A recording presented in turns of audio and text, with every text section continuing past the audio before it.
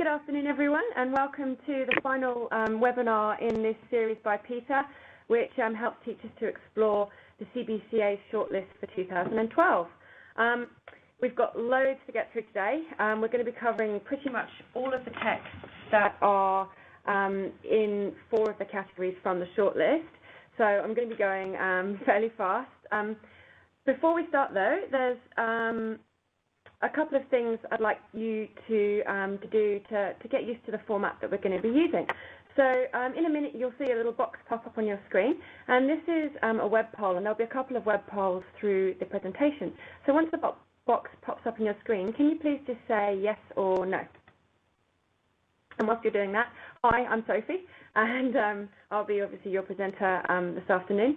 I'm an assistant principal at a school in um, in Sydney, in the Lower North Shore, and I'm actually on maternity leave at the moment. So, and I've been lucky enough to um, author and co-author PETAA's um, guide to the CBCA shortlist for the last three years. So, um, and it's lovely to be able to actually um, share my enthusiasm for children's literature with you this afternoon. So, a few people answering now. Let's have a look. So, looks like most. I'm just having a look at my other screen there. Looks like more people haven't participated than have, so welcome for those of you who have participated before. Sorry if uh, this bit's a bit um, repetitive for you, but it's just good for people to get used to the format. Okay, that's pretty much all the answers in. So it looks like most of you haven't. So um, I'll just go through something else. Um, if you have a look at the top of your screen, just underneath the address bar, you'll see a little um, little word called feedback with a, a hand. This is a way that you can um, give me feedback throughout the presentation using emotions. I can see Holly's already got a bit of a grin down there, so thank you, Holly. If you have a look in the feedback section and click on there, you'll be able to, if you can raise your hand, I'll be able to see that you're kind of giving me a wave, so it's a bit of a bit of an E-wave there. Well done, Amanda. Thank you, guys. Fantastic. And you can, um, at any point during the presentation, you can tell me to go faster or slower, or if there's something you like, let me know. If there's something you don't like, you can give me a sad face. So, okay. All right. And finally, um, it's just nice for us all to um, know who, who's sharing in, in, the webinar and where you're from. So if you can, um, in the message box at the bottom right hand of the screen, can you please type what year you teach, or if you're a whole uh, whole school attending, just write whole school. Um, and obviously a librarian as well, write librarian, and um, what state you're from. And that will give me a bit of an idea of, um, of our national makeup today. I can see that um, Singapore, fantastic, that's exciting. Wow, that really is international. Teacher librarians, student teachers, fantastic. Okay, so quite a, I've got a school from the Gold Coast. Welcome, guys. Year 6 New South Wales. Good, so there's quite a range, and I saw that someone, is it Bernadette, had given us a weather forecast from Darwin, so lovely, 27 degrees, you're very lucky. It's certainly not 27 degrees in Sydney, I can tell you that. All right, we might move on with the presentation. Um, and by the way, if you do have any comments or questions throughout the presentation, please feel free to write them in the message box, and I'll try and get to them as we, um, as we move through the presentation. All right, so the outline of today. Um, we're going to very briefly look at the Australian Curriculum English because not everyone um, is necessarily familiar with it and all the states are at different stages of implementation. I'm going to take you through um, PETAA's digital units of work online, which you can access, and I'm just going to take you through the format and how you can get hold of those. And then we're going to get into the CBCA shortlist. Take you through the four categories that I'll be covering, and then um, we're going to look at some of the text from the perspective of themes, so you can program in a cross-curricular perspective. And then we're going to be looking at um, some of the literacy of the texts. We're going to look at four texts in detail, and there's also going to be a bit of an, an activity for you to do um, based on one text. So it's going to be a busy hour and a half. All right. So um, let's have a web poll. Let's see how you guys um, are going with the Australian curriculum English. I know that um, different states are in very different stages of implementation. Sorry if um, you have already attended the Picture Books webinar and I've already asked you this question, but it, it always gives very interesting um, responses. So are you currently using the curriculum to plan, teach and assess? Are you just having training in it through your school? Have you just read it independently or you're not familiar with it? So if you can please click your answer and, and respond, I'll have a look at um, people's level of familiarity. Ah, interesting. So looks like most people um, have only just read the Australian curriculum or aren't familiar with it at all, which is quite interesting because the demographic in, in the last lot of webinars, there were some quite a few people who are quite familiar with it, and that's obviously dependent on state. I know New South Wales is um, developing their own um, developing their own response to the Australian curriculum, so we're a little bit a little bit behind in New South Wales. So interestingly, it looks like about 50, 60% of people aren't familiar with it at all. Okay, so I'm going to take you through really, really quickly um, just the broad outline of the curriculum, and then I'm going to explain how the Australian curriculum has been mapped onto the units of work, PETAA's digital units of work, so that you will be able to make connections between the way that you're currently programming and teaching um, with your state curricula um, sort of transitioning across to that Australian curriculum. So, of course, the Australian curriculum English um, has three main strands, language, literature and literacy and of course the four modes which are interwoven across the strands of writing, speaking, reading and listening as um, you can see here in a little diagram. Um, now, of course, in these three strands there are a number of substrands as well. So what we have done in PETAA's Digital Units of Work is set up a model um, which kind of joins some of the substrands together so that, um, oh, I guess under under headings or titles. So will they, they they'll still have a message box, though, won't they? Mm, yeah, I have. I'm, come on, Yeah. I'm on. Okay, great. I just can't see you.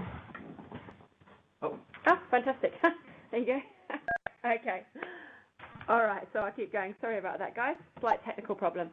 Okay, so um, the next section that you will see in um, PETAA's digital units of work audio back but no video. Okay, well, I, I, might just keep talking and I'm sure the video will pop in in a minute, um, is responding to literature. Hi everyone, sorry about that. Um, so looking at responding to literature, at the top here, that directly maps across to the substrand in literature.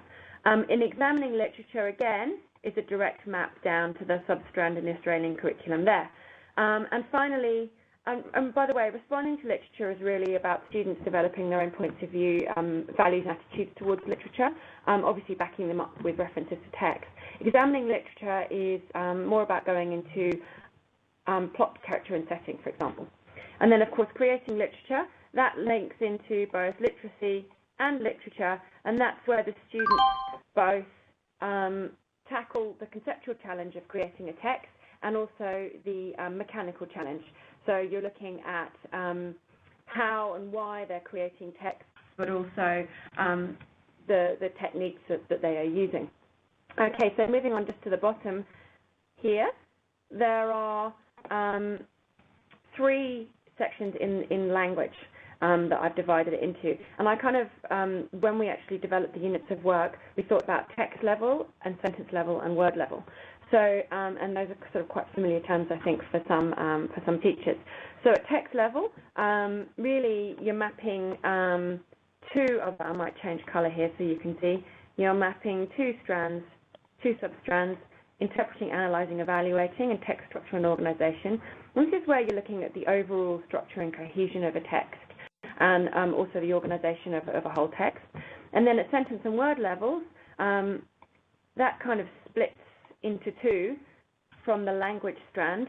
And um, interestingly, in the Australian curriculum, there um, is a facility to look at um, visual and multimodal features, and of course that was um, a really heavy emphasis of the last webinar. If you didn't see the last webinar, you will be able to access it um, through PETAA's website in, in the near future. Okay, I know that that was um, quite confusing, but hopefully it will all become clear when we switch to the website. So well, I'm going to take you to um, the PETAA website where the digital units of work are hosted and show you how that little curriculum map actually um, maps onto the digital units of work. Okay, so we're just going to switch over now. Okay, so um, on your screen you'll see this is um, this is PETAA's um, well this is the, the CBCA section of um, PETAA's website. And at the moment, there are um, a number of digital units of work available for free um, to to anyone who um, comes to the website. And then all of the other digital work, um, all of the other, uh, excuse me, all of the other digital units um, are available to PETAA members, or as you can see, there's a button where you can purchase online access. You can see I'm, I'm highlighting that with my mouse. So I'll just take you through one of the um, samples. We'll have a look at flood. And so as you can see, um, those substrands that I talked about with the organisation are, um, are here in the tabs at the top that I'm showing you with my mouse. So covering literature and literacy, you've got the context of literature and examining literature, and you've got a number of activities that map um, into those, and of course also responding to literature. And then when you go to the next tab, you've got creating literature, and for this one, because it's a picture book, you've got examining visual and multimodal features. And then finally, in the language section, you've got examining text structure and cohesion and the activities that go with that, and examining grammar and vocabulary. So hopefully what you will see is that this essentially replicates um, the way teachers are teaching at the moment, but also maps the Australian curriculum onto it. So it should be a nice bridge for those of you who are starting to use the curriculum. Um, and a few more features I just want to take you through. As you can see, um, when I move my um, mouse over these ACELY um, numbers, these are hyperlinked to the content descriptors in um, on the Australian Curriculum website. And also there are other hyperlinks to useful resources that you can use in teaching the activities. There's some good additional resources at the bottom that will help you um, help you get, uh, I guess, some, some background understanding, and also um, for some of the texts there are publisher's notes as well, which can be really, really useful if you want to go into the text in further detail than we have done in this treatment. And um, on the left over here, of course, you've got um, a link to the author, author's website and the illustrator, and a brief synopsis, and then, of course, the themes and the age um, suitability. So these, access, these um, units, like I said, are available um, through the PETAA website to help you with your teaching in the classroom. If you're a PETAA member, um, you'll be able to um, access them already. And if you're not, you can access the sample units and then pay for the other units as you go. All right, we'll switch back to the presentation now. Sorry about this, just scrolling through. Okay, so we're going to get into the shortlist now. That was, I know, quite a quick introduction. Um, we've got a lot to cover. So what I'll do um, is I will take you through four of the categories and give you a brief overview of the books. Um, we'll talk about some of the cross-curricular themes that can be extracted from, um, from the current um, Australian curricula and kind of how they might map onto state, uh, state syllabi. And then also we'll talk about some of the literature and, and literacy themes that, that run through this year's text. And then, um, like I say, we'll go into some of the themes in, in detail, and I'll be showing you um, images from some of the text, and then we'll look at four texts in detail as well. Okay, so um, fantastic thing about the shortlist is, of course, it's quality literature which already been selected for you. Um, I don't know about you guys, but I know that teaching is an incredibly busy um, profession, and we rarely have time to do the research to find um, to find brilliant new texts that you can teach within the classroom. And the great thing about the um, CBCA shortlist is they're already selected. So of course there are the five categories: older readers, younger readers, early childhood picture books, and information books. Now, just to let you know, we're not actually going to be looking at the older readers um, section today because this is really focused on um, the F to 6 or K to 6 classroom most of the older readers' books are really aimed at a secondary level. Um, some can be used for um, older upper primary students, so you know, mature year five, some year sixes. Um, but today we're just going to be looking at the four categories of the younger readers, early childhood picture books and information books. Okay, so in the younger readers section, um, we've first of all got Crow Country by Kate Constable, and this this text is um, it's a combination of um, a mystery novel and a historical novel and a time slip. So it's set up in a way that um, the character, well, without spoiling the book, um, the character um, essentially engages with um, an indigenous dreaming figure, um, Waa the Crow, and um, finds out about a murder and a, a mystery and something um, that happened in the past. And in order to solve this, this, this murder and this mystery, she actually um, slips back in time, um, back to the 1930s when this murder took place. So the story is, is about um, the girl's experiences in modern day rural Australia. It's also about her experiences back in um, the 30s in rural Australia, and it also interweaves some um, fantastic Indigenous themes. I'll be talking about that um, later. Okay, Verity Sparks is again a mystery novel, and this one is set in um, Victorian Britain, and it's a fantastic text to explore issues of, of class whilst looking in the context of, um, you know, I guess the Victorian culture that probably influenced early Australian um, settlement. It's a mystery in the sense that the girl has special powers and she can find lost things. So, and again, we'll be looking at some of the themes through, through all of these books in a minute. Bungawitta is a story of a very small rural town which is unfortunately suffering from terrible drought, um, quite topical, obviously, um, over the last few years. And what happens is the town decides that in order to save themselves, they need to get some tourists. And so they put on the Bungawitta Sculpture, Earth Sculpture Festival.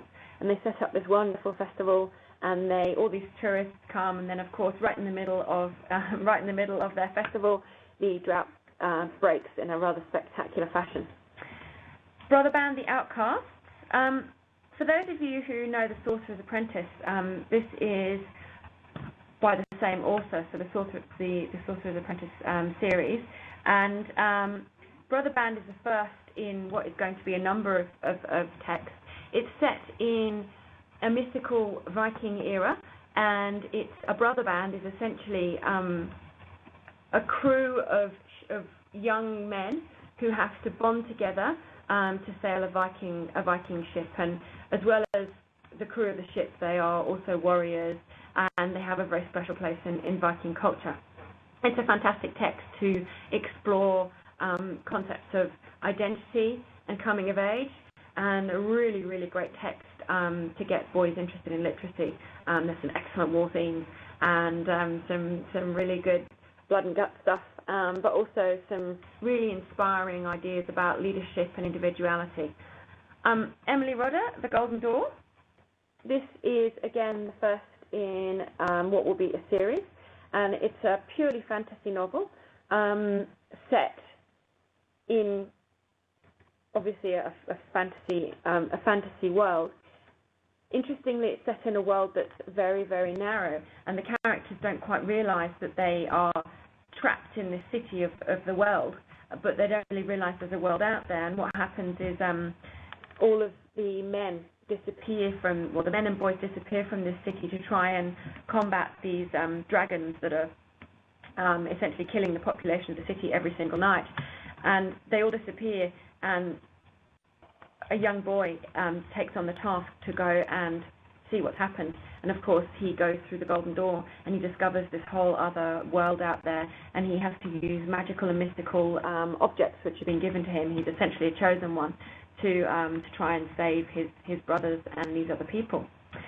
And finally, Nanberry, I'm going to be featuring um, as one of the texts later on in the presentation, so I won't talk about that too much. Um, it's set right at the beginning of um, of the Australian colony, um, so when the first um, fleet arrives, and it's a story of, of a young um, Aboriginal boy who gets adopted by one of the first surgeons here um, in, in, New South Wales, and it's a story written from a, a number of different perspectives. Okay, moving on to the next category, picture books. For those of you who um, have already seen the picture books webinar, you'll, you'll be quite familiar with these. Um, can I just have a quick um, quick message? Has anyone actually attended the Picture Books webinar as well, just so I can see who we've got here and, and how long I should talk on this topic? So if you did attend the Picture Book webinar, can you type yes? So no, Bernadette, yes, thank you. Oh yes, I remember you, Margie.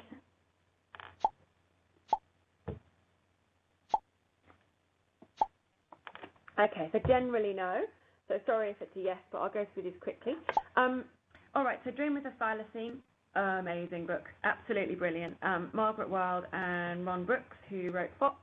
Dream of the Thylacine is um, a wonderful visual text that's uh, accompanied by some quite poetic language um, that essentially is a cross between an ode and a lament um, for, of course, the extinct um, Tasmanian tiger, the thylacine. It's beautifully set out, very stunning visually, very rich text. Um, and again, I analysed that in, in the last picture book session, so I won't talk too much about that because, again, you can access that if you would like to in the future through the PETAA website. Um, no Bears, we're going to be looking at later today. No Bears is actually um, actually nominated in two categories, in picture books and early childhood, so we'll be looking at that in a minute. And it's about a little girl who wants to write a book, and the most important thing about her story is that there are no bears in it because she doesn't like bears. So we'll go through that in a minute.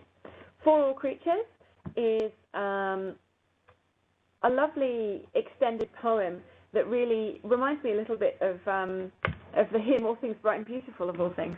And there are some great double page spreads which have little kind of um, poetic quartets which which are odes to spiders and caterpillars turning into butterflies. And it basically covers a whole range of, of creatures and um, great, great, great links if you're teaching younger children um, some of the meta language to do with with um, with animals and also looking at the environment. It's got some really lovely, um, lovely illustrations as well. Okay, flood down here at the bottom by Jackie French.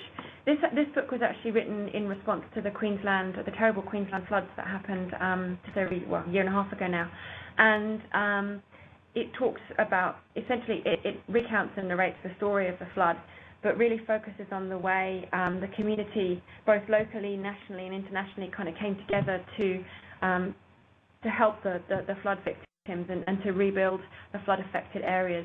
Um, again, a very very lyrically written book with some some clever illustrations where um, it almost looks like the it's, it's, it's done in a watercolor, so each page almost looks like it's been saturated by the flood.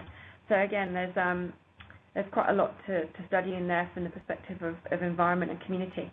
A Bus Called Heaven, um, I will be looking at this one later. This is the latest offering by Bob Graham, and it's about an abandoned bus which is turned into a community centre. So we'll be studying that um, later on in the presentation.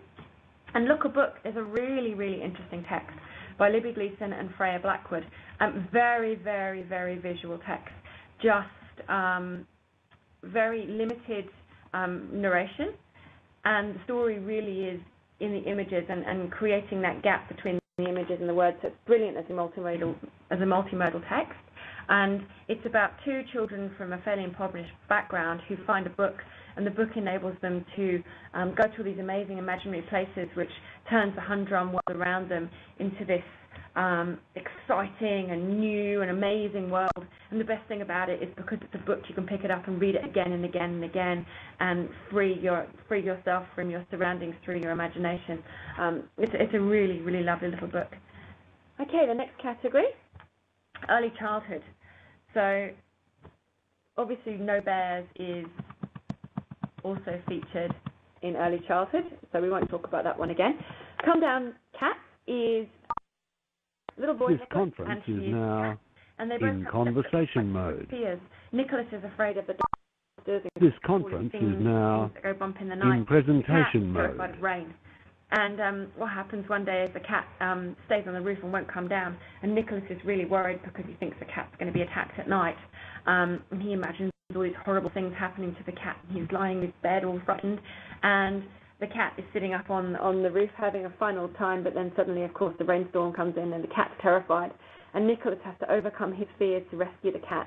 So it's a lovely story about, um, I guess, about, about relationships and about overcoming your fears and identity. And it's really lovely um, for kindergarten and year one, especially when you're talking about um, those concepts about me and myself and, and my identity. That's not a daffodil. Um, over here, is an interesting sort of hybrid text. It's, it's a story about a little boy um, and his neighbor who helps him to grow a daffodil. but it also operates essentially as an explanatory text in terms of how a daffodil grows and what you need to do to care for living things. Um, each time that Tom looks at the daffodil, he doesn't think it's a daffodil because first of all it's a desert, there's nothing there, it's just a pot with dirt, and then he makes it rain in the desert, and um, slowly little green little green spikes come up, and then it's a green finger, and then it's a rocket ship, and finally, you know, it's a lamp, and finally it's a beautiful golden trumpet. So the story kind of charts the development of of the um, or the growth of the daffodil and what Tom has to do to, to take care of it. And it's another interesting example of, of, of a hybrid text. Rudie Nudie is about children's bath time. So you've got Rudie Nudie and her sibling, and they are having a fine old time in the bath, splishing, splashing around, and they get out the bath and run around the house. Um, nudie, obviously. So, um, and I'll say this as I said in the, in the last webinar, um, obviously you need to think about um, the cultural background of your students um, with this text because for some it might not be appropriate. Um, it's set as a poem and it's got a really strong rhythmic sense though and the actual language is, the literacy demands of the language are, are quite low. So um, it's a nice little introductory text to do with kindergarten especially. Okay, The Runaway Hug is a story about a little girl, Lucy, who gets a hug from her mum, and it's her last hug there. And she shares the hug around, and the hug travels all the way around the family. She gives the hug to someone else, who gives it to someone else, and the hug comes back as a peanut buttery kiss from the baby and a lick from the dog, and eventually it comes all the way back to Lucy as she goes to bed. And this text is a really nice introduction to the theme of family and concepts of family. Um, you know, who's in your family? How do you relate to each other? Um, it's just a one of those texts that leaves you with a warm glow. And finally, the last Viking is about a little boy, Josh, who um, isn't afraid of anything apart from monsters and Vikings and pretty much anything you can you can name. He kind of thinks he's brave, but he's not. Um, he's also getting terribly bullied by some horrible children, and um, he decides he's going to become a Viking. And the real Vikings up in Valhalla get quite excited by this and watch his progress very very carefully. And um, I'm not necessarily impressed with with his his performance as a as a, as a Valhalla warrior. And um, they step in at the last minute when he's facing another one of these bullying situations and um, unbeknownst to Josh, they intimidate the bullies, and so Josh thinks he's actually beaten the bullies, and that builds his confidence and enables him to be a successful big brother, which is, of course, the important role that he's stepping into as he's growing up. Okay. And finally, the information books category. Um, really broad range in the information books this year. The Little Refugee is by the comedian Anh Do. You might know him for his um, biography, The Happiest Refugee. Um, the Little Refugee is written specifically for children, and it charts his um, his journey from Vietnam. He was um, a refugee from the Vietnam War, one of the original boat people, and it talks about his um, the reasons that he left Vietnam, his journey and also his um, his arrival and, and welcome into Australia and how he assimilated into the culture and um, you know what what it was like for him to experience um, a completely different culture as someone who didn't speak the language. And um, there's some great um, great great great connections there for, for obviously for refugees and, and migration themes and, sense, and themes of belonging. Bilby Secrets, we are going to have a look at this one a bit later on. It's essentially an information book about a bilby, but it's a really interesting hybrid text. So it's both an information book and a recount stroke narrative, and we'll have a look at that um, later. One Small Island is the story of Macquarie Island, um, and essentially it charts.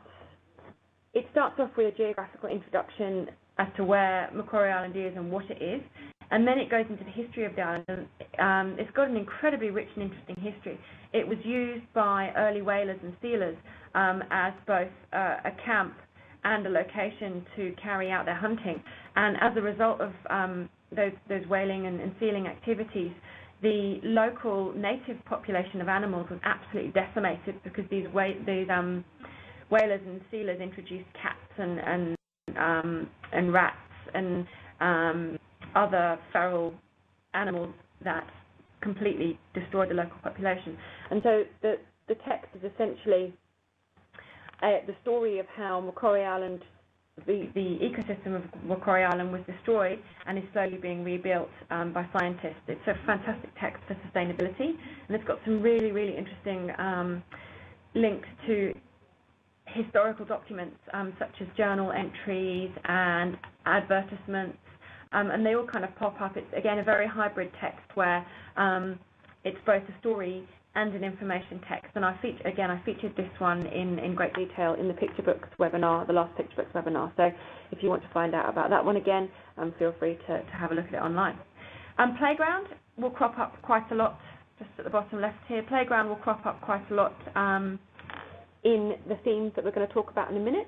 Um, this is a fantastic text compiled by Nadia Wheatley, and it is essentially a compilation of oral histories from Indigenous people all over Australia, and it talks about their experiences under a number of different categories, such as family, um, fishing, going to school, all of those kind of aspects of life.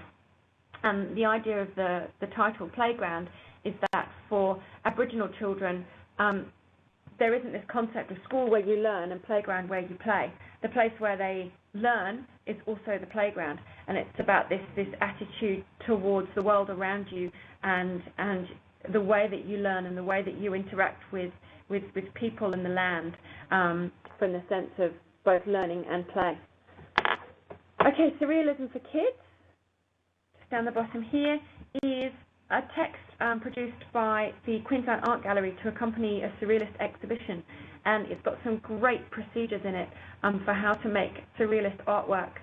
There's some fantastic biographies of surrealist artists and um, little features on on their art. So if you, um, especially great for those, those those rainy Friday afternoons where you want to do something fun with your kids and um, also get them to um, to learn about a particular style of art. Um, it's fantastic, really really fun, and some really crazy surrealist um, artworks that you can produce. And finally, Fromelles is about the Battle of Fromelles, which um, you may or may not be familiar with, but was um, a very, very important battle um, during World War One for um, Australian soldiers. Um, it was a quite long forgotten battle, and only um, in the last sort of 10 years or so have they rediscovered some of the, the mass graves where, sadly, the Australian soldiers were buried after they lost their lives. And this text analyses the Battle of Fromelles it analyzes, it gives you a timed um, time sequence of a chronological sequence of, of, what happens throughout the battle, and also um, has an interesting analysis perspective in terms of what went wrong um, and why. So, as well as being an information text, there's some really um, interesting opinions in there by the author, and um, some fantastic information about um, about living as a soldier in World War One as well at, the beginning of the text. So it's another one of these kind of hybrid texts I've been talking about. That's not just a, a kind of pure text that fits into one category. It's an information text. It's a narrative. It's a recount. It's a visual text. Um, of course, with any text that involves war, again, you will want to think about um, the maturity of your students and what they can deal with because it is a very graphic, um, very graphic novel in places, and obviously describes the horror of, of war and um, and dying in no man's land. So, okay, so that was a brief overview of the four categories and all the text in the categories. Now, what we're going to do is I'm going to take you through um, the four, well, the um, three other curricula at the moment that um, you might want to think about linking the English curriculum to. Of course, the Australian curriculum history and Australian curriculum science are already re released, and um, geography is pretty much about to be released now. I think it's it's almost um, it might even have, it might even be out. So essentially, this is a way this is this is a way of taking you through what those three other curricula, um, or the outline of those three other curricula, and then I'm going to take you through how you can interlink some themes um, through all those three curricula into some of the texts um, using the Australian English curriculum. So it's, it's, exactly what you've been doing in your states with your syllabi with cross-curricular programming, but just sort of showing you how it maps onto the Australian curriculum. Okay, so in the Australian curriculum history, of course, you're studying one um, one topic per, per year. So you've got personal and family history, present and past family life, the past in the present, so that's local history, community and re remembrance, first contacts, the Australian colonies and Australia as a nation. Now, first contacts is um, essentially about the, the arrival of, of, the British in, um, in, into Australia in the invasion or the colonisation, and um, the Australian colonies is talks about the initial establishment of Australia as a British colony. And then Australia as a nation, of course, takes you from Federation through World War I onwards. Um, in the geography curriculum, there are three main, it's divided into three main areas. You've got place, space, and environment. And um, within those areas, there are some, some quite good um, thematic links that, that, you can, um, that you can use for teaching some of these texts with. Um, science, this year, uh, the only the only real link that you can make is through the biological sciences. I mean, some some years, you know, you'll have other texts that will link to, to physical or chemical sciences, but just this year, the only um, real thematic links you can make are, are through biological sciences. And of course, we always need to keep in mind the cross-curriculum priorities of sustainability, and there are some big, big, big themes of sustainability throughout many of the texts um, Aboriginal and Torres Strait Islander histories and culture, and I'll be looking at that um, as a category on its own in a minute, and Asia and Australia's engagement with Asia. Now, on those three curriculum priorities, um, there is actually a, um, a, fantastic website called Global Words that PETAA was involved um, in writing, along with um, a number of other organisations. And if you just, um, you can either access it through the PETAA website or you can just Google Global Words and there are some units of work that have been produced specifically to address these cross-curriculum priorities. And the Little Refugee actually is, is one of the texts that is um, that's used as an example of that for um, Asia and Australia's engagement with, with Asia. So um, with the cross-curriculum priorities, I just want to draw your attention to Global Words, and it's a great resource if you want to find some, some other units that um, you might want to teach in the classroom. Okay. So from those curriculum um, outlines and structures, um, I've devolved these themes. So the first is families and communities, which is mainly from the history curriculum and some geography. The next is time change and continuity, including heritage, traditions, British colonisation, federation and government systems. That's a big one. And sorry to those people who have already seen the, the F to 6 um, picture books webinar. I have to explain this again, otherwise the um, following content's not going to make any sense. Um, of course, you've got another theme is cultures, and that includes identity, so personal identity um, and cultural diversity. You've got environments, places, and spaces, and that's a really big one to link in geography, um, biological sciences, and history. Social systems and structures, um, and that's your kind of history and geography. And then finally, creativity and imagination. And the reason I've got creativity and imagination in there is just to keep in mind as well that obviously the arts curriculum is going to be coming out very shortly as well, along with the geography curriculum. Um, rather than tackling cross-curriculum uh, thematic programming with the arts syllabus as well, um, because that would just have been too much to do in, in, in, one presentation, I just want to draw your attention to the fact that um, the arts syllabus is there and there are some texts that link brilliantly, so we'll go through that in a minute as well. And of course, the other thing you need to keep in mind with the Australian curriculum are the general capabilities. So you've got intercultural understanding, ethical behaviour, personal and social capability, and critical and creative thinking. And those are the ones, of course, you've got literacy, numeracy, and ICT capability. And of course, they come into most, well, literacy and ICT come into most texts anyway. But um, when thinking about programming in a cross-curricular um, format and thinking about themes, the intercultural understanding, ethical behaviour, personal and social capability, and critical and creative thinking are really, really important. Okay, so now we're going to get into, um, oh, right, sorry, quick web poll. So I've gone through some of those themes. I might just um, click back. If you can type into the message box how you would program with um, some of these themes, can you think of can you think of something you're already doing in the classroom that would link back to one of the themes that I have outlined here? So, oh, sorry, it's a little poll box that's come on. So if you can just type in your answer there, that would be great. Have a little think about how these themes you've got here, they might already link to units of work you're teaching in the classroom through your state syllabi. They might be something that you're already doing through the Australian curriculum. They might be something that linked to um, a text that you love. So if you type in your answers there, we can have a little look and see what people think.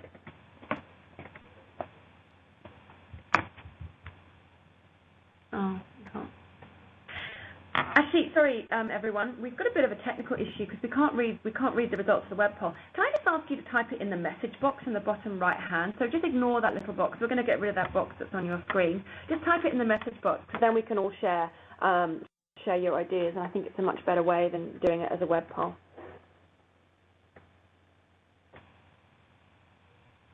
So I saw that someone had written the Golden Door and what they were going to link that to. The Golden Door for Democracy. Fantastic. That's a great one. Yeah. Very interesting. Concepts of democracy and autocratic rule and systems of government. Clever link. One small island for Antarctica. Absolutely. Natural disasters, flood. That that's brilliant. Integrates really, really well.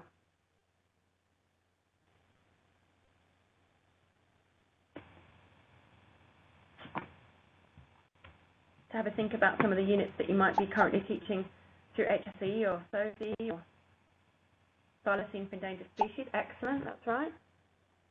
Yep. And also thinking about the dream of the thylacine, you can bring in the bilby as well because the bilby is currently um, listed as endangered as well. Sustainability, one small island, fantastic. Oh, Chinese Cinderella with Asian cultures. Okay, that's interesting. Yeah. Okay. So we might just um, move on, unless anyone's got any more contributions, and have a look at some of the literacy aspects or the literacy links. Um, so what I've done is I've taken all of the texts and thought of some really great um, natural links for teaching certain aspects of literacy. Obviously, certain texts lend themselves really well to some aspects of um, literacy compared to the others. I've got the happiest refugee there with Asian cultures. Excellent, that's right. Okay, so in terms of um, narrative, obviously narrative um, nowadays, well, we're not teaching narrative to NAPLAN um, this year, but um, I think it's really important to break narrative down into a genre as well because I think it can help children to get a, a much stronger sense of of the, the purpose and the context of, of, of their writing. So in terms of texts that link well to genres, um, fantasy, as you can see, you've got The Golden Door, Brother Band, Look a Book, No Bears, and The Last Viking, and they're all really great texts for fantasy and imagination, both in terms of creating fantasy worlds and also of the individual creating fantasy in an imaginative, um, imaginative fashion.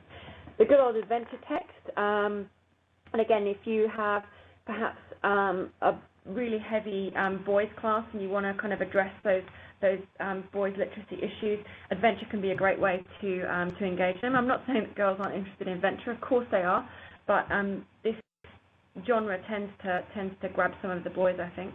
Um, and that's of course the Golden Door, Brother Band, Nanberry, Look a Book, and The Last Viking. Um, fairy tales, No Bears is brilliant for teaching fairy tales, and we'll go through that in a minute. Um, mystery, the mystery genre, I've already mentioned Verity Sparks and Crow Country, and the dilemma genre in terms of, um, you know, the human dilemma or the individual going through um, a dilemma situation. Um, you've got Come Down Cat and The Runaway Hug to a, a certain extent. Um, so fictional texts in general. Um, so we looked at narrative genres and kind of broke that down in a broader sense for fictional text, um, again, we can break that down into kind of categories and subcategories. Um, historical fiction, as I'm sure you can gather, um, Nanberry, Verity Sparks are really clear ones. Dream of Thylacine, obviously, because it talks about um, extinction, and that's a certain you know, period in, and a certain facet of Australian, um, of I guess the British colonisation of Australia with the destruction of, of natural, um, of, of, the native habitats and the, and the native species. Um, Crow Country um, talks, obviously, it goes back to the 1930s. And Brother Band, even though it is essentially a fantasy text, it's got a lot of, um, it really draws heavily on on the, the, the historical facts of, of, of, Viking culture and, um, and, and mythology as well. Poetry, For All Creatures, and to some extent Rudie Nudie. Um, literary recount, um, Bunga Flood, A Bus Called Heaven, Dream of the Thylacine. So again, these are just examples of text. So if you're, if you're choosing to text, if you're choosing to teach from a text type perspective or a purpose for writing perspective, hopefully, rather than a text type, um, you know, if you want to talk about texts that recount or retell, um, these would be great texts to use as part of your studying. Of course, you can draw out um, literary examples from these texts to use in, in your teaching of, of writing. And, oh, I've got, sorry, a repeat there, in poetry, you've got All Creatures and, of course, Dream of Thylacine as well. Sorry, a bit of an error there. And moving on to factual text. Um, the factual historical recounts, you've got The Little Refugee, um, Playground and One Small Island. And oral histories, Playground is fantastic for oral histories. If you want to think about oral history, also as a, as a genre, um, Playground is a very, very interesting text and there's some great links between that transition from oral language to written language and how um, you can record the oral as written and whether or not you should change um, oral language to written language as you write. Um, informative writing, Bilby Secrets is, is a great inf informational text, um, gives you lots of information about the bilby and its habitats and its life cycle. Um, instructional writing, so following instructions, procedures, surrealism for should be kids, not FIDS, sorry about that. And explanatory writing, again, I mentioned that's not a daffodil, which explains the um, the life cycle of a daffodil. And I guess also, if you want to talk about life cycles, the Bilby kind of links into that explanatory writing as well. So hopefully that gives you a brief overview of um, how you can use some of those texts to link to fictional and, um, and, and, factual studies of, of text in your classroom. And um, some other things just to kind of think about. If you really want to think about teaching visual literacy and the skills of visual literacy, um, look a book, The Little Refugee and Dream of the Thylacine have got some fantastic, um, really clear elements in terms of visual literacy that you can teach to both as a skill and as a way to decode uh, a visual and multimodal text. Intertextuality, so, and I'll just explain my terminology there. What I'm talking about is texts that reference other well-known texts or genres. So Look a Book um, obviously talks about how to care for, for books in general and references um, the concept of the book itself as well as being a story on its own. No Bears brilliant intertextual references to very well-known fairy tales, and we'll go through, like I said, we'll go through that in a minute, and you'll see all of your favourite fairy tale characters appear. Um, the Last Viking has got some great intertextual links with Norse and Viking mythology, um, with the gods and some of the stories and the concepts of Valhalla. And um, One Small Island has got some fantastic examples of, I think I've already mentioned, some journals, um, historical recounts, diary entries, um, there's some adverts, there's, there's, images, all sorts of texts that have been slowly gathered over the history of of the um, of the island, and they've just been reworked by the author and illustrator for for the for this text for this book, but they have very sound um, historical factual um, roots. And hybrid texts, so texts that um, aren't purely one genre or another. They kind of mix in a number of genres or a number of different styles and purposes for writing. For All Creatures is a fantastic hybrid text between poetry and an information text. As I mentioned, there's a lot of meta language to do with um, with the various animals, and um, and also the images create a hybrid text as well between the visual, the poetic, and the informational. Bilby Secrets is a hybrid text that we'll go through in a minute that um, interweaves both informative and narrative or recounting writing. Look a Daffodil, I've already explained, is both a narrative and an explanation or an explanatory text. No Bears is a really interesting hybrid between what is essentially an oral recount and a written narrative. So that's a, again, we'll be looking at that, and that's, that's a very um, thoughtful and interesting way to, to create a story, and it's very much about authorship and um, the, the, the, the meta process of, of, of, authoring. And One Small Island, as I mentioned, is a real hybrid of, of lots of different information texts, and also as a, a story and a, and a recount that um, the author unashamedly takes quite a strong position as narrator. So you can clearly understand when you read the text, this is not a dry informational historical recount about what happened. The author is lamenting the fact that these things happened and is also talking hopefully about how the future can, can change this text. And then finally, um, Playground, of course, is a, is a hybrid text between the actual written format and the oral format of language. And um, again, some really interesting, um, some really interesting questions are thrown up by the way in which oral language is recorded in a written format and how that translates across on the page. Okay, so now we're going to um, get into um, looking at some of the text in a little bit more detail. Um, and we're first of all going to be looking at the themes of uh, the past and history and tradition. So we're looking at British colonisation and history and tradition. So we're just going to switch to um, some scanned images from, from these texts, and I'll take you through what's going on.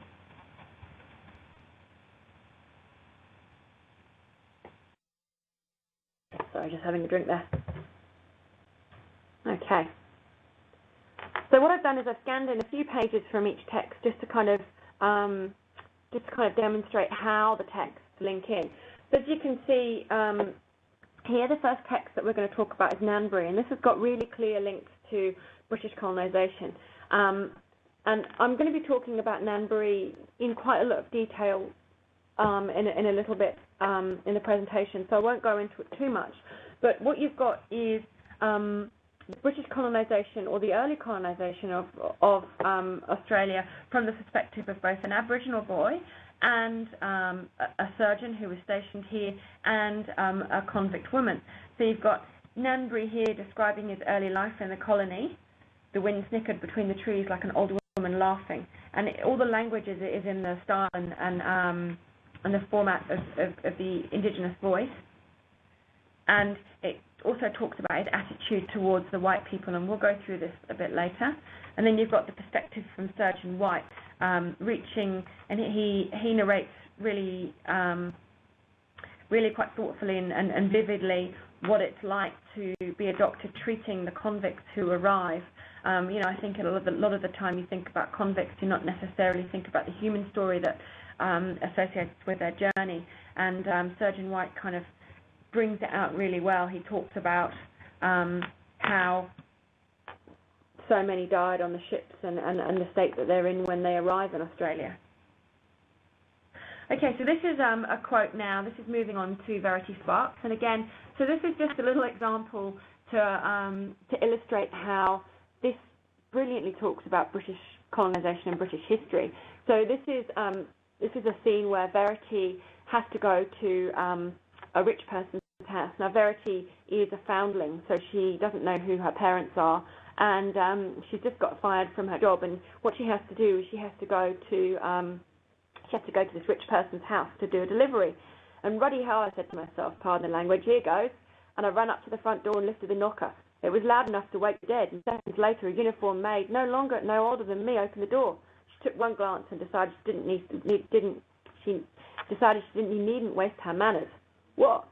and so on. So it talks, it characterises really well the different classes and the class system that you found in, in Victorian Britain and how it was uh, virtually impossible to move between them.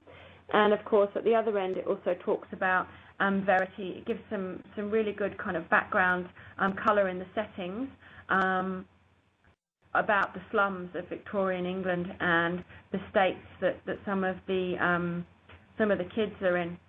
So I'll just read from here. But almost at once I knew I'd picked the wrong mark. The faces that turned towards me were something out of a nightmare, all blooming with sores and bruises, teeth missing, eyes glittering. I could smell their stinking rags and the gin on their breath. So there's some really fantastic colour, both of the, the, the slums and that, you know, really lower class kind of poverty situation that um, you found in Victorian Britain. And on the other extreme, Verity gets adopted into uh, a very well-to-do family, and it talks about the disconnection that she has between um, essentially what are those two different cultural experiences. Okay, moving on. So um, obviously one of the other texts that links in really well to concepts of past and history and tradition is Playground, which of course is the oral histories um, collected by Indigenous people. And each um, each sort of section of the text is, uh, um, prefaced with a little introduction here about the concept by Nadia Wheatley. And um, so this is about journeying and, and about how um, Aboriginal people were pushed off their land and moved to different places, but also how they um, how they journeyed themselves on walkabout. And there's um, great oral histories here from different people from different eras talking about their experiences of, of journeying through the land, either through choice or, or being forced. This is this text is from One Small Island. As I mentioned briefly, it refers to both letters and diary entries and journals. You can see here you've got um, a letter from William, who's a sealer, and then you've got um, an account from an overseer um, who's in charge of um, one of the one of the missions, and you've got the um, number of seal oil casks that, that they're getting. As you can see, there are really clear links to the history of the island in terms of sealing and whaling. And then, of course, the history in different eras. So this is um, in the 40s when it um, first became a scientific station. And, of course, moving through to the 80s, you've got um, a, a, bit of a bit of a diary entry here and a letter. Okay, moving on to another text. So this is um, Crow Country, and this is a section where she, um, where Sadie has gone back in time in the time slip, and she's back in the 1930s, and she is um, essentially overhearing a discussion between um, her dad, she goes back in time and becomes this this other girl, and um, and Jimmy, who is a local um, Aboriginal man who had gone to World War One and, and fought in the war, but he, um, you know, and, and he's come back and he's still facing just um, terrible um, racism and um, really kind of um, horrible attitudes from the local population. This girl's dad doesn't treat him that way, but everyone else does. So um, Mr. Mortlock is one of the characters who kind of um, represents that ingrained attitude, that ingrained racist attitude towards um, towards Aboriginal people.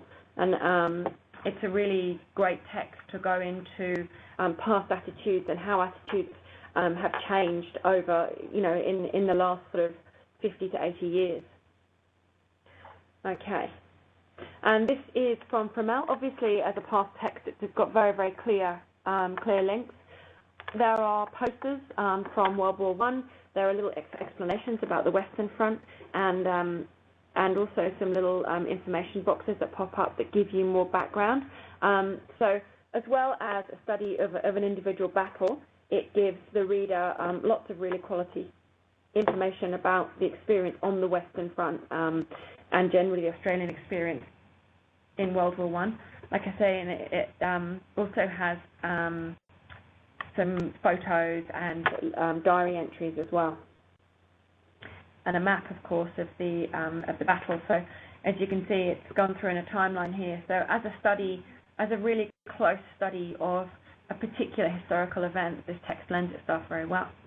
And um, the happiest refugee. This text links, links in really well to concepts of past if you're looking, especially from the Asian perspective, about what it was like to originally live in Vietnam and um, what happened to the boat people who were displaced as a result of the end of the war.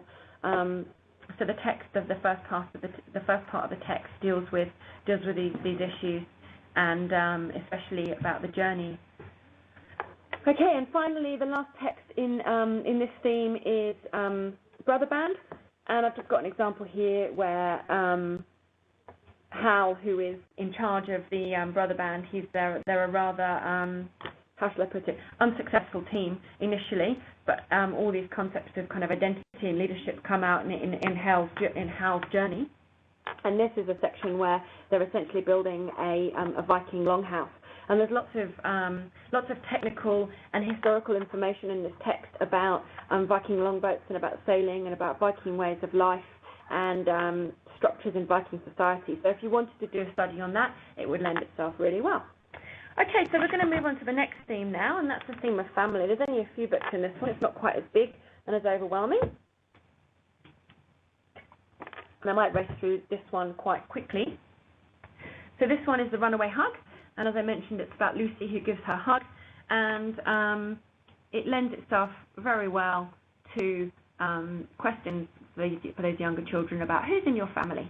and um, getting them to create texts about their family, their family structure, and um, think about their relationships. Obviously, all families are different, and this is just an example of, of what one looks like. And Rudie Nudie, again, a different kind of um, family structure, and um, another text that lends itself really well for those for those younger children about the relationships and the importance of the relationships with, with parents and siblings and extended family and what your family looks like. So again, these are, these texts are good jumping off points for students to create their own texts about their own families and their own family experiences. And of course it ends there with um, them being tucked into bed at night. And obviously family um, also has a really strong um, theme in Playground and I know that I touched on these three texts in, in the last um, webinar, so I'll, I'll, just go through really quickly. Um, family in Playground is not just um, family in the sense of, of, a Western or Western civilization concept of family, where it's mother, father, um, brother and sister, but your extended skin system and the concept behind that. And it, it treats both the relationships between that immediate nuclear family and also the relationships between the skin systems and and the, the clans and, and groups in um, in Aboriginal culture. So it's a really interesting expanded look at family. Okay, so we're going to move on to look at the theme of communities and culture and the text that lend itself to these. And of course, very strongly running through um, the theme of flood is that sense of community and people coming together um, in, in the face of natural disaster and adversity. And the whole text is, is positioned from the perspective of the community response to the floods and how um, and how it made such a difference um, as a result of the disaster. So as you can see, there's lots of illustrations of, of what people did and how they contributed. Um, it's also, from a literary perspective, the text is, is it's quite brief, but it's, it's very um, lyrical and poetic and quite quite moving actually. And so, as a study of a way to to narrate and um, and recount a natural disaster from a really literary perspective, the text um, lends itself really well to a study of that. So you've got the community and the culture all coming together. Um, as mentioned before, those images look like they've kind of been flooded out with the with the use of watercolor. So there's lots of great visual imagery in this as well. Um, a Bus Called Heaven is a fantastic book about how a community comes together. And we'll be analysing A Bus Called Heaven in a minute, and we'll be talking about community um, very strongly in that. So I'll just move straight through. And of course, in Playground, I said I said I'd be talking about Playground a lot. Playground has a very strong sense of um, of, of, community and, and, and cultural background. Um, obviously, the communities within um, different skin groups and different um, clans, but also the communities that, that, are formed between Aboriginal people when they were put in the missions and the different experiences they had at different um, eras in um, in Australian history and how the historical perspective um, also kind of impacted their sense of community and their experience of community. As you can see, there's some great pictures. And um, moving on to the little refugee, this obviously is about, it's really about two different communities. It's about the community of, of refugees who all went on the boat together and how this experience threw them together and um, essentially forced them to become a very close-knit group. And then it's also about the community of um, of Australia and how Anh Do has to kind of straddle the, these these two communities and you know keep one foot in his Vietnamese background, but then also um, try and learn about um, Australian culture in Sydney and, and, and, assimilate and learn the language. So um, it's a really fantastic text for a study of what it's like to experience two different communities, two language backgrounds, especially if you're teaching in a, a school with a heavy ESL perspective. And Bungawitta, um, which you can see here, is obviously it's all about community. There's actually only 12 people in the community of Bungawitta, and it's about how they spend a lot of their time together. Most of them um, aren't employed because the drought has had such a, a terrible impact and decimated the local economy. So it talks about how as a community they come together to try and solve their problems in a really productive and proactive way. And it, it's a lovely little story about how um, how you can overcome adversity with um, from a sense of community, and, and, and also it's about rural culture and um, what is special about some of those places um, that perhaps city people wouldn't wouldn't visit. And it also um, the, the book talks about how city people are encouraged to come out to the festival and how much they love the outback and, and how they love the experience. They all have to camp in a field and, and build their earth sculptures. And um, it's, it's a great text to think about how one community in Australia can be so different to another community. As you can see here, you've got your, your kind of stereotypical um, outback characters as well, doing all their different roles in the community with the tractor. Okay. And now we're going to move on to look at Aboriginal and Torres Strait Islander culture. We have kind of touched on some of this um, a little bit, but obviously it is um, a major cross-curriculum perspective, so I think it's really important to treat it um, here when you're talking about the text in this year's shortlist. Um, Crow Country has a really strong um, Aboriginal and Torres Strait Islander perspective. It talks about one particular um, one particular group of Aboriginal people with um, whose dreaming is Waa the Crow, and um, it talks about how a girl finds a sacred site and about the responsibility of a sacred site. Sorry, we've just had a little bit of a computer um, failure there. Can you just let me know if you can still hear me? Can you say yes, you can still hear me? Okay. Okay, all right, we might just move on. Um, whilst I'm talking about thanks, guys, yeah, sorry about that. We're just going to reboot up the computer. Got love technology. Um, I'll keep talking about um, culture. We don't always need the text to, to talk about it. So, um, like I mentioned, in Crow Country, it's about the discovery of a sacred site and also about the responsibility that um, we hold in the modern day towards respecting Aboriginal and Torres Strait Islanders respecting their culture, respecting their community, and how, um, in some ways, we can right the wrongs of the past. Um, it has some interesting links to the concept of sorry if you're perhaps studying the, the sorry speech and the sorry generation, um, in the sense that um, sacred, as well as a sacred site, a sacred object is found, and because a white person finds this sacred object, she actually returns it to a traditional auntie, who then, um, you know, has the right um, who, knows what ceremonies to, to do to kind of right this past wrong, this, this murder of the Aboriginal man. And um, it's it, it just, yeah, it, it's a really, really lovely book to, to consider how we need to be respectful of, of Aboriginal culture and, and, and of the culture that still exists and lives around us. Okay, the next text that deals with Aboriginal culture is, of course, Playground, and we've talked about that quite a lot. Obviously, you can tell really clearly that it's completely about um, the Indigenous experience in Australia. So I might uh, just move on to, from that one. And of course, Nanberry, which is the final text in the theme. Um, obviously, half of the text is written from the perspective of um, a young Indigenous boy. He's actually one of the only survivors from his, his clan because smallpox wipes out most of them. And um, like I mentioned, we'll be talking about Nanberry in, in greater detail in a minute, but really it's about his experience as an Aboriginal child looking at white culture, but it also interestingly treats his, um, it talks about his, his perspective and his place within Aboriginal culture and how because he's not initiated, the um, the um, warriors won't actually speak to him as a translator because he learns English and um, they ignore him. So it's it's pretty interesting. All right, sorry about this. Um, sorry about this this vision failure. We're working desperately to um, sort out the technology. I might just keep going and um, have a bit of a talk about the, the two final themes because um, we've only got a little bit of time left to look at the remaining texts. So environment and sustainability is a really, really strong theme in this year's um, 2012 shortlist.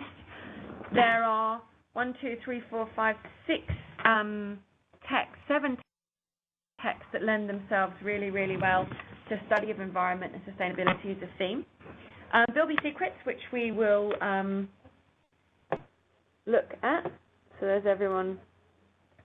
Okay, so I think we're just about to come back online. Sorry about that, everyone. Okay, so we're just going to switch to um, to the, the scans that I'm looking at at the moment about environment and sustainability. So sorry about that brief technical glitch, guys. Okay. Um, okay, all right. I might just keep going. So Bilby Secrets, like I mentioned, talks about environment and sustainability from the perspective of the bilby being an endangered creature, um, and it helps your students to understand um, about the animal, the bilby, and um, why it's special and why it's unique, and especially why its habitat um, is so special because it's obviously the bilby only lives in certain areas of the Western Desert. So um, it's a really great text to study in the context of a specific habitat and environment. And of course, if you're thinking from that perspective, One Small Island is a really great um, link to to how um, animals are so dependent upon their habitat, and of course Dream of the Thylacine as well, um, all of which, you know, all of which were native animals that, that, that only lived in very specific habitats. Okay, so we've got the vision back here, hopefully, and we're looking at Bilby Secrets. So as you can see, you've got the habitat of the Western Desert, and um, it explains about the bilby and, um, and its life cycle. One small island, like I briefly talked about, um, again, it talks about the fragile balance between the animals and the plants and the native animals there. Um, from both the perspective of environment, it is interesting because um, it, it's quite a unique environment being so close to Antarctica, but also from the perspective of sustainability, of course, because it wasn't, its natural resources weren't uh, fished or hunted sustainably, and um, the way that people lived on the island wasn't in a um, wasn't in a very sustainable way, and so as a result, the whole island was, was decimated. You can see here, obviously, it's very clearly not sustainable with the way in which they're hunting and, and what's going on. And this is, um, in terms of environment as a, a, concept or a study of animals, um, I've mentioned a couple of times you've got For All Creatures. And um, as I said, it's a kind of a poetic quartet here. You've got for weavers and wisps, for silk spinners and spiderlings, lace and loveliness, and for webs, we are thankful. And it's just, uh, I've mentioned it, it's a nice way to introduce some of the meta language associated with animals. Um, and it's just, it, it, it's a good little text um, to show that there are other ways of, of building up technical vocabulary than just through an informational text. And so you've got for chrysalis and camouflage, for unfurling, unfolding, and unveiling, marvels and mysteries of metamorphosis, we are thankful. And the text goes on to deal with lots of different animals and finally humans as well. And it, um, it's a nice little text to think about how, as humans and, and animals, we live in a, in a connected environment, which of course we have to treat sustainably if we are to continue. Flood, we've already looked at a little bit. Obviously, um, in environment there, you're talking about um, some of the harsh environmental extremes that you um, experience, that we experience in Australia, but also um, probably some great links to concepts of wider concepts of global warming and um, responsibilities in terms of your um, environmental attitude and perspective to the way in which you live um, in terms of building a really sustainable way of living for the future. So, um, and it also talks about the environment from that natural disasters perspective and how the natural disaster happens because of course there's so much rain and the land can't um, can't um, deal with, with that much rain and of course it turns into savage floods which we had that horrible wave. Dream of the Thylacine. um, excellent text for sustainability in terms of already endangered um, animals, sorry, excuse me, already extinct animal. Um, again, you can study that in um, in uh, um, a parallel with One Small Island and Bilby Secret, where you're looking at animals that are both extinct, endangered, and vulnerable. Um, and of course, the text itself doesn't really talk much about, specifically about um, the thylacine. It does give great visual, visual and verbal images of the, the, the habitat of the thylacine, um, and, and you know how beautiful the Tasmanian um, the Tasmanian habitat is, but it also talks about sustainability from the, the perspective of how sad it is that this amazing, beautiful creature um, has now disappeared forever from our world. And for those of you who haven't um, had a look at Dream of the Thylacine, each um, each section of, of, the text is prefaced by these this incredible poetry. So there's this, this incredible kind of um, poetic literary language, and then a sequence of three images that that show the thylacine kind of raging and, and, and hunting through the Tasmanian landscape. Um, so this text at the bottom here that I'm circling with my mouse, know you not that I am tooth and claw, see me hunt through bracken and bush, see me swagger across wild lands, see me glory at the edge of a cliff. So this little bit at the bottom um, in the text actually shows the different habitats and environments that the thylacine um, kind of travels through in his journey in, in Tasmania. There you go, and you've got some image there. And of course, environment from the perspective of what do living things need. Um, you know, a great kind of science, early early years science unit. I'm sure we've all done it. Um, you've got obviously the daffodil needs sort of sunlight and water to grow, and it talks about the life cycle of the daffodil, daffodil, excuse me, and, and how it changes as it grows. As you can see, it's a little beak. Now it's got green fingers, and um, another sorry, moving on quickly there. I know we're, we're kind of racing, but we've got a lot to get through. Um, Bungawitta, of course, talks about the environment and sustainability from the perspective of drought, from the perspective of climate change, um, extreme weather events, and also the impact that the environment can have on communities of people and how communities of people need to need to learn to live sustainably with the land around them and perhaps adapt the way in which they live and the way in which their communities function so that they can stay there um, in these changed conditions. And of course, the community um, maintains its sustainability not from the perspective of um, of perhaps the resources it uses, its sustainability as a community of people who can live there as a community by, of course, creating this, this festival which brings in money and tourists, which enables the town to essentially continue. And of course, at the end, you've got um, yeah, at the end of Bungawitta, of course, I've got this fantastic um, description of the drought actually breaking, and, and again, what that can be like and what an impact that will have on the community. Okay, and the last one that we are going to look at is creativity and imagination.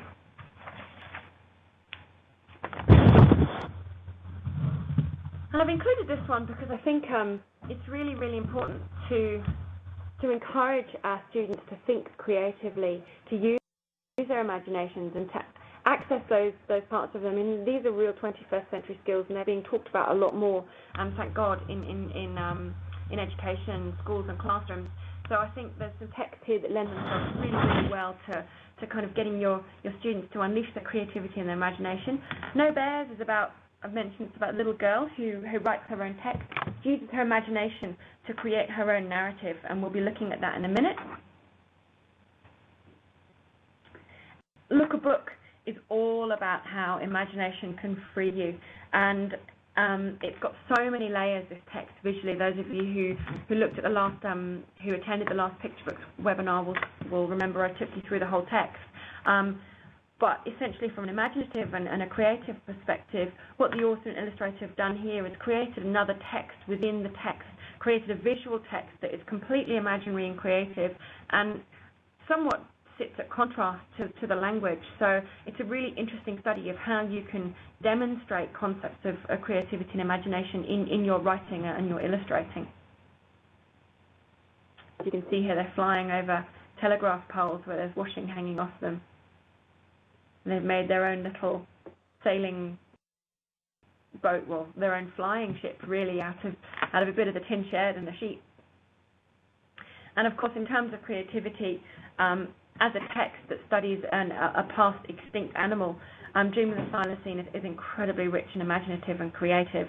Um, you've got the the poetic language at the at the beginning, the really sharp literary use of use of language in a literary sense, and then these just really evocative, thoughtful images that, that go with it. And it's a great example of, of students, so it's a great example for students um, of how to how you can create a text with um, with a limited amount of, of actual written words, but you can have something very dense and very layered and very rich. So it would lend itself really well to a kind of deep, in-depth study by, by stage, um, stage three, so year five, year, year six students.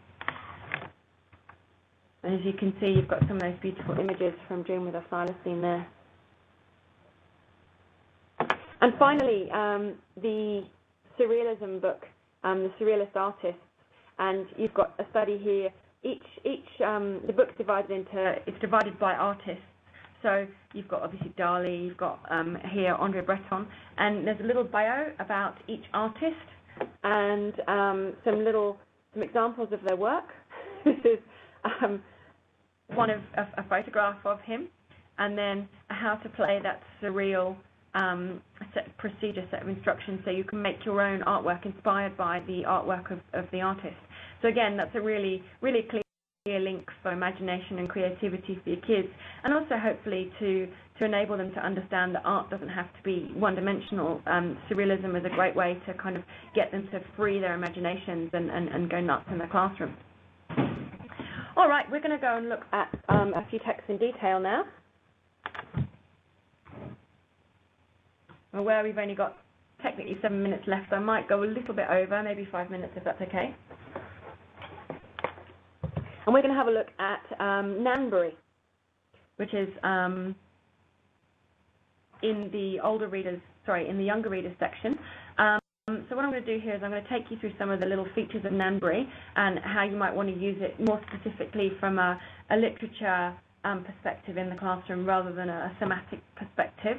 Um, what's interesting about this text is the different um, the different voices, the different narrating voices that, that, are used. You've got Nanberry, and the way that um, the author has crafted the language is is quite interesting um, because everything is described from the perspective of his experience. Um, so it's, it's a very, very strong Indigenous voice that comes through. Um, there's also Indigenous language. So though the, though the Mari Nawi had floated away, the white ghosts had not. They'd stayed through the whole sky full of seasons. So you're looking at the way in which um, Indigenous people relate to the world around them, or this particular, um, this particular the, the Cadigal, who of course um, were native to, to Sydney Cove when the first British came here. So scrolling down the page here. Um, obviously you've got, um, and what's also interesting is the perspective of colonization from an Aboriginal, um, an Aboriginal point of view, and how kind of ineffective and um, almost, you know, he, he, can't even understand how these people can, can survive he talks about um, how the white ghosts, the white people tried to attack the Cadigal women, though the women had fought them and run off. That even made the stream a filthy, stinking thing. Didn't white, white ghost mothers tell their children how important it was to keep the water clean? And then um, it goes on to talk about, so in, in the early section of the text, it just talks about his experiences as an Aboriginal child living in Sydney Cove. And then, of course, you've got the perspective of Surgeon White, who really quite resents the fact that um, that he's been stationed to this this god awful hole in, in at the end of the earth. He's surprised to find out that the king's gone mad and there's been a French Revolution um, three years after he's been there when the first white ships arrive. Um, sorry, the, the, second fleet arrives, and um, again, a really interesting, a really interesting analysis of narrative perspective and narrative voice and how it can contrast with the other narrative voices in the text.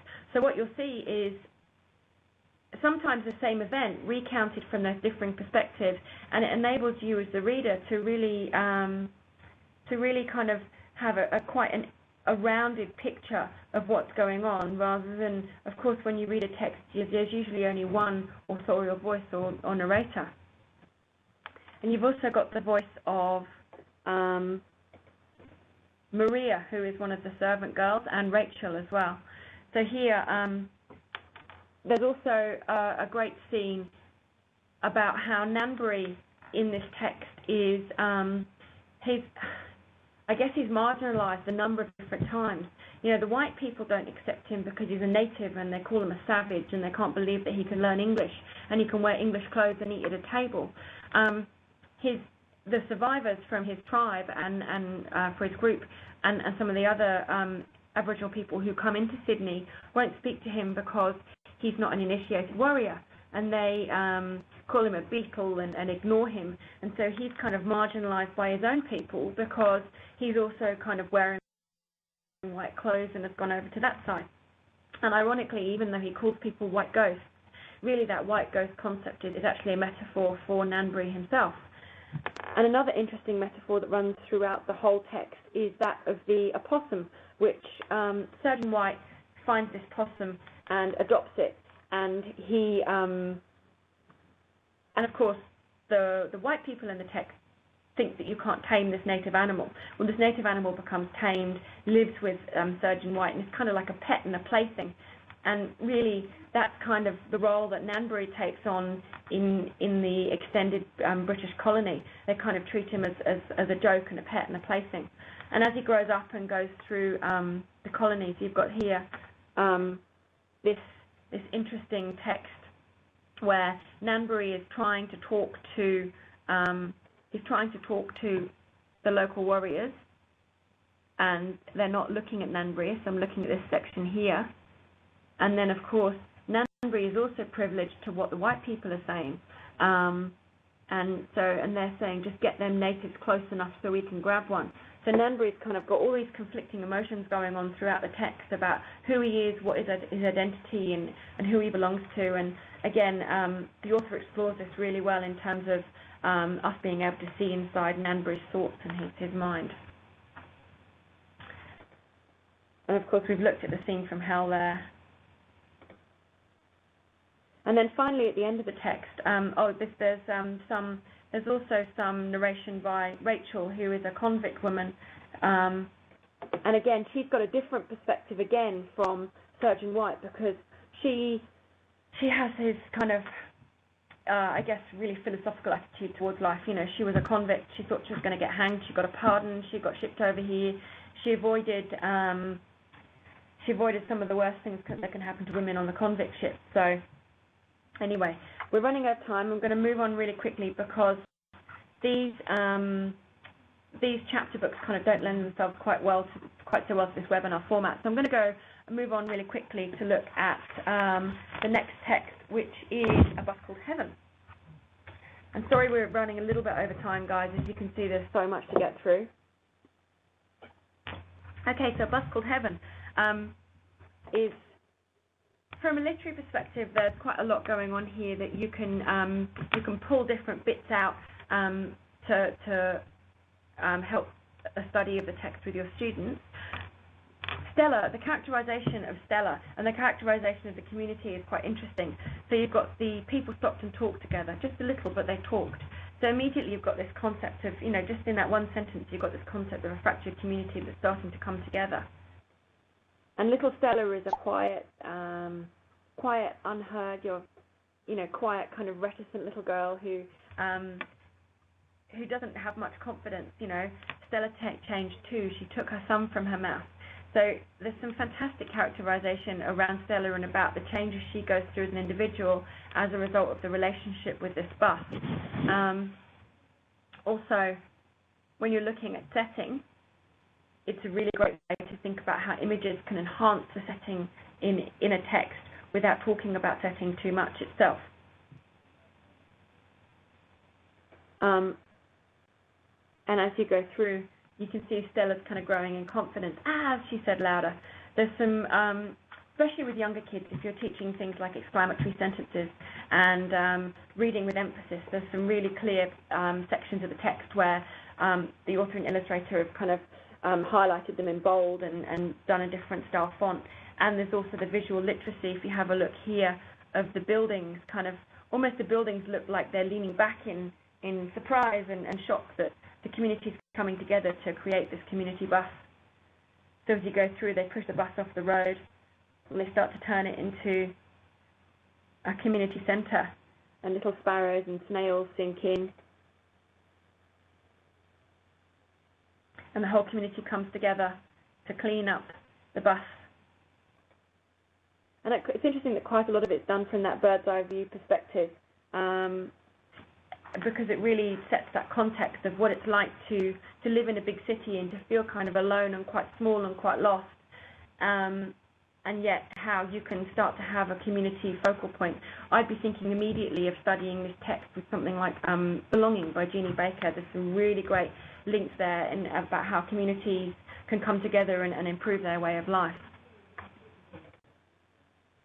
Um, there's also a really, really great multicultural um, perspective from this book, um, just just in, in, all the different names, um, and, and, in terms of the um, the outfits that some of the some of the people are wearing as well. So it really kind of enhances. There's lots going on in this text, in in, in the words themselves, but also in um, in the actual images.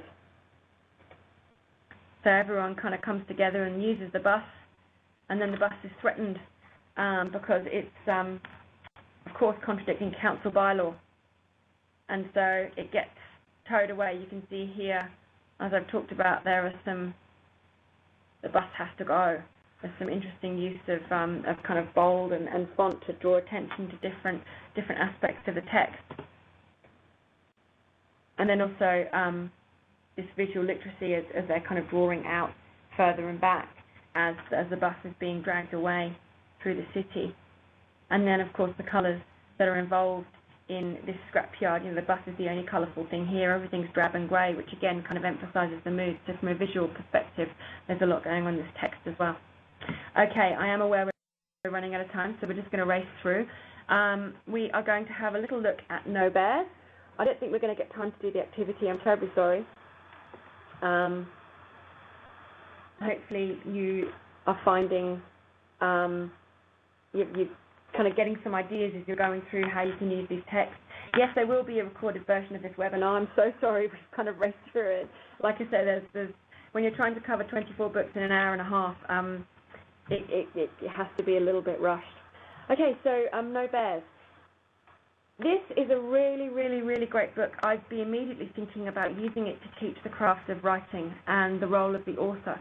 So that um, so in getting across to, to students that difference between oral language, where you are um, you kind of stream of consciousness talking, hi, I'm Ruby, and this is my book. You can tell it's a book because there's words everywhere.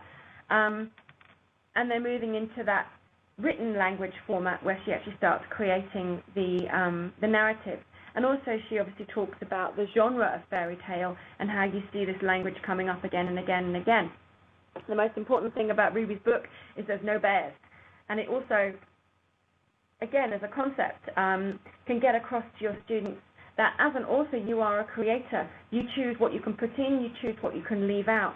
And um, it, it's an interesting kind of study in terms of what the author can actually um, can actually include and the scope of, of, of their writing. And of course, you've got her narrating her, her attitudes and her feelings verbally or orally um, about bears, but then of course she starts writing her story. So she talked about all the things she thinks she needs in her book, and then she starts writing her book, and of course she immediately switches into that um, that written language format with that traditional once upon a time. And you can tell when she's writing the text because there's this lovely line of the spiral bound notebook so you know that she's actually telling the story in terms of the written language when you see these pages. And then so she's also, as well as writing the story, she's narrating how she's writing the story as she's writing it. And she's also interweaving all, of these different fairy tale characters. So it's a really rich, um, dense text. So here she is, she's explaining there's no bears anywhere. There's no bears in the deep dark forest in the faraway lands. But what there was in the deep dark forest in the faraway lands was a monster. And then she talks about how the monster, and of course you've got Little Red Riding Hood down here. The monster wants to steal the princess away to um, to read him, him bedtime stories. And so rather, um, I actually think of parallels to Shrek. When Shrek has to go through all of the different kingdoms to go and rescue Princess Fiona, there's some interesting um, interesting kind of parallels here with the monster going through all these different kingdoms. You know, is he a monster like Shrek? Um, and of course, he eventually finds the princess. But of course, who always saves princesses? Fairy godmothers.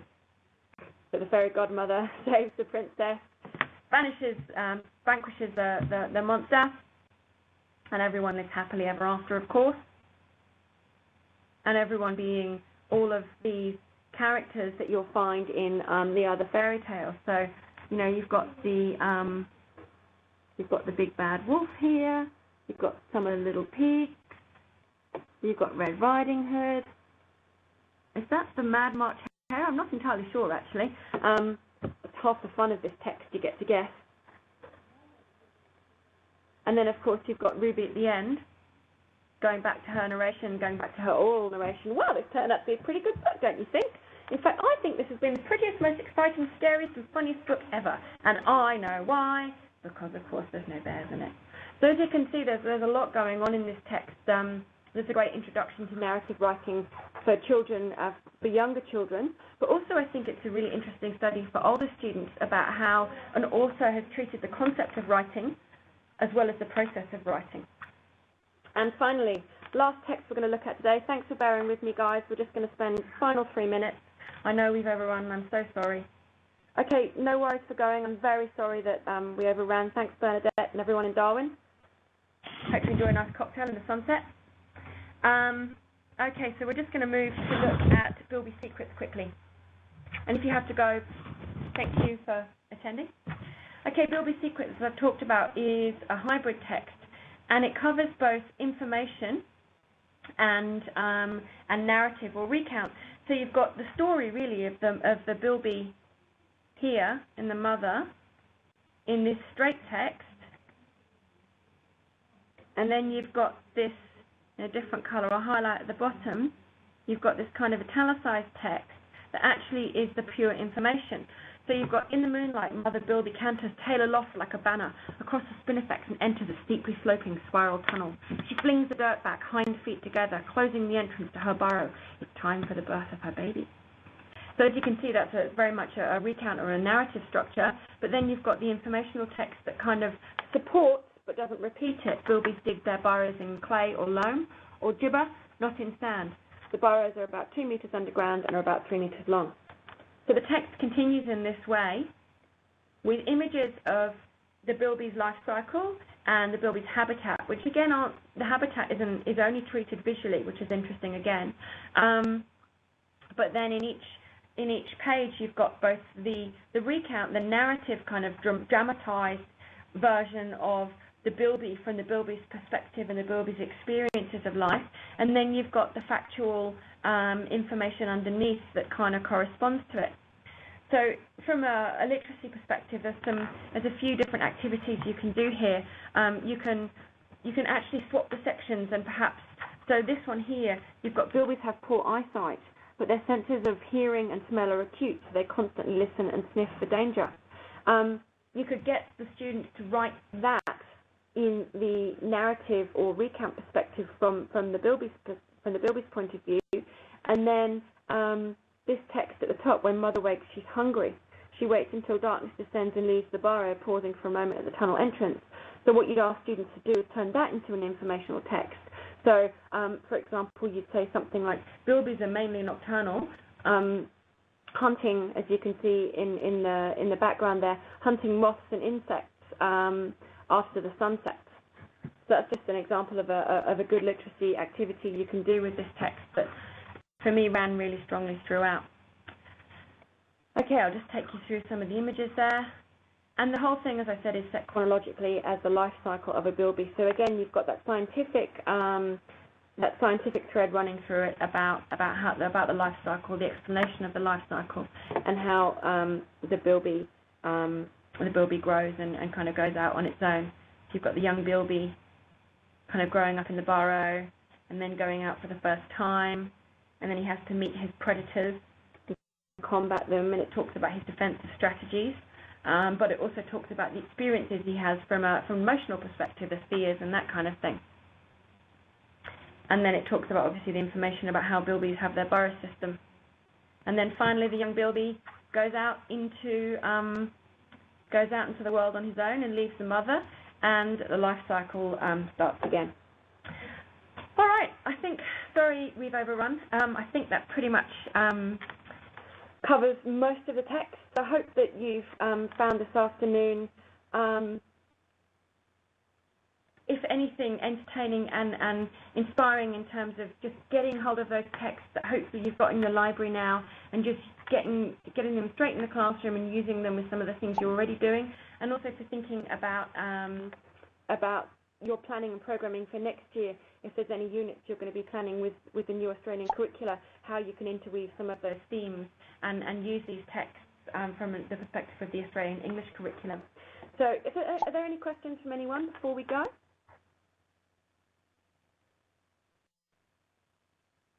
Bit of feedback there. Thanks, thanks, guys. Glad you found some of the ideas useful. Um, like I say, you know, it's probably a good idea if you head into your library and pick up these books and have a little flick through as well, because it's a very difficult, um, it's a very difficult media to to kind of convey some of some of the, the richness and beauty of these texts um, just online there. All right, looks like no one's got any questions. I will um, say good afternoon. Thank you very much for, for attending and for giving up your time. And um, good luck. I hope you enjoy using these wonderful books in your classroom. Bye-bye.